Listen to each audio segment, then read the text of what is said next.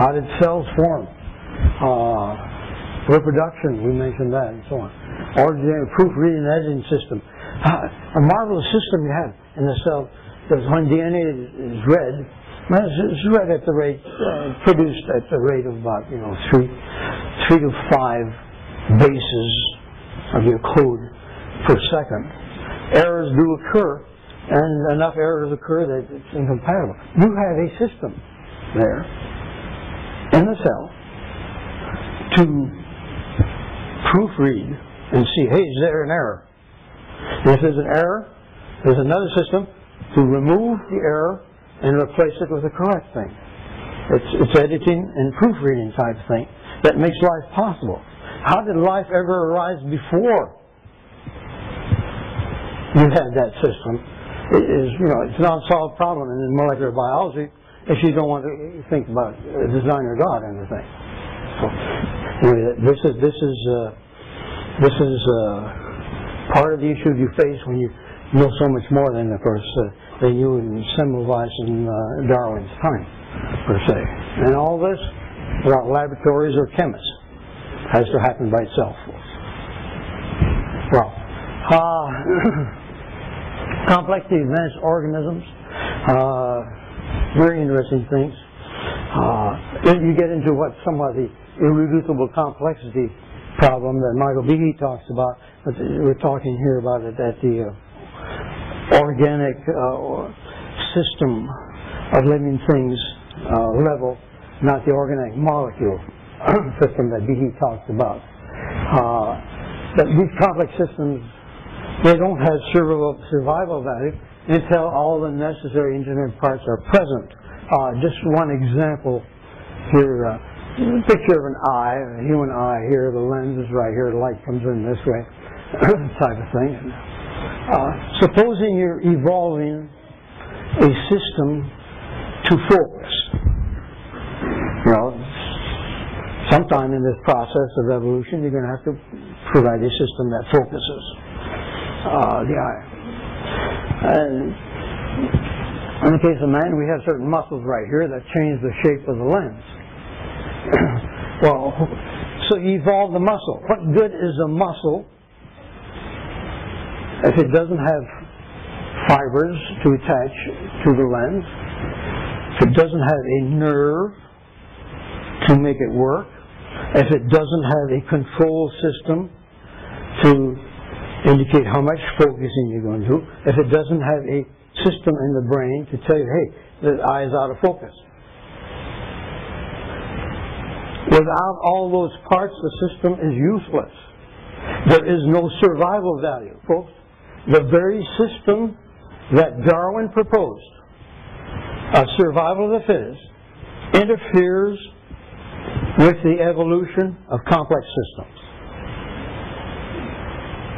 And yet, survival of the fittest is claimed, hey, Darwin permitted atheists to be intellectually satisfied. This is the answer. He provided the answer to, to the, the argument from design. No, look at it carefully.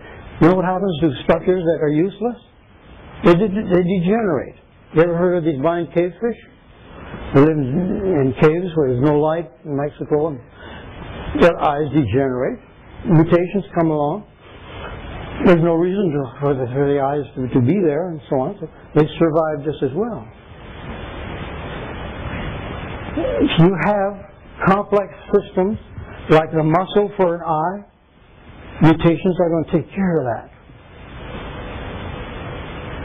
And pretty soon, you know, it'll degenerate type of thing. Until all the parts are there, so you have some survival value. Survival of the fittest is going to get rid of developing complex systems. Let's move on. oh, long geography is way too short for the improbabilities of evolution. Well, uh, this is uh, uh, an idea's been proposed. Like George Wald, I remember him giving a lecture once. Uh, he's passed away now. He's Nobel laureate. But he, he has written, he said, given so much time, the impossible becomes possible, possible probable, and the probable virtually certain. One only has, only has to wait time itself performs the miracles. Just wait long enough. He's talking about two billion years for, for the ordinary life. Uh, in the context, uh, what he's saying here and so on. You start doing your calculations. Totally, these billions of years are totally inadequate. Now, I believe in the recent creation by God 2,000 years ago. But, in order to help these students out and others, come on, Give them their billions of years. It's not going to help hardly at all. Why do I say that? Uh, let me give you a couple of examples here. We're going to make a protein molecule. Protein molecule of 100 amino acids. Specifically, each one of these has to be the right amino acid. There are 20 different kinds of amino acids. Uh, it's a little bit like a word, 100, uh, 100 letters. And you have to have the right letters in the right place. type of thing. But, uh, French biophysicist.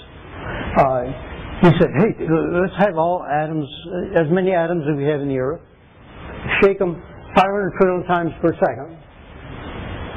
Estimated it would take 10 to the 242nd power billion years to produce one specific protein molecule.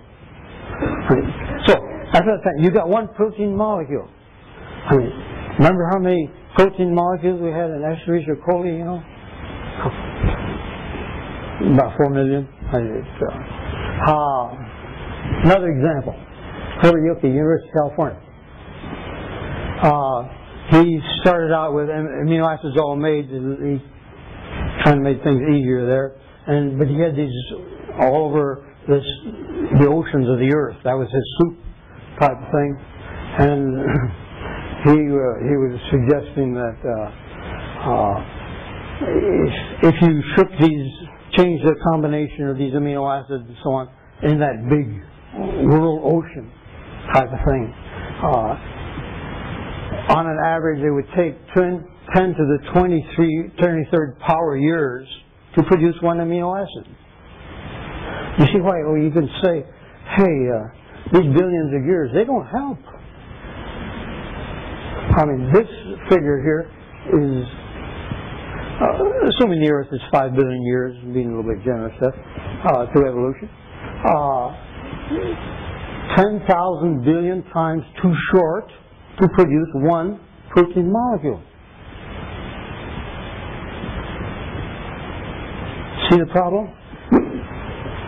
Unfortunately, this is not uh, taken up in the discussions uh, with like origin of species or uh, even modern things. No, uh, there's that big.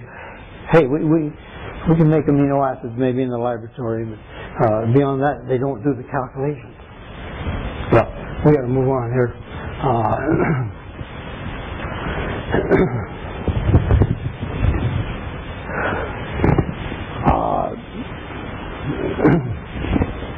I should just remember here where I'm in this thing. Right, coming to Michael Behe. Uh, Michael Behe has written this book, The Edge of Evolution, and so on, and he makes one very important point there, and that is that uh, you know we talk about viruses mutating. You heard uh, H1N1 maybe is mutating now again, uh, type of thing, possibly the last two or three days and so on. Uh, influenza virus changes. The uh, AIDS virus, you know, mutates all the time. It's, and so on. And, and, and we, hey, things are changing, mutating. Oh, good. For evolution, we can get new, new organisms here pretty fast.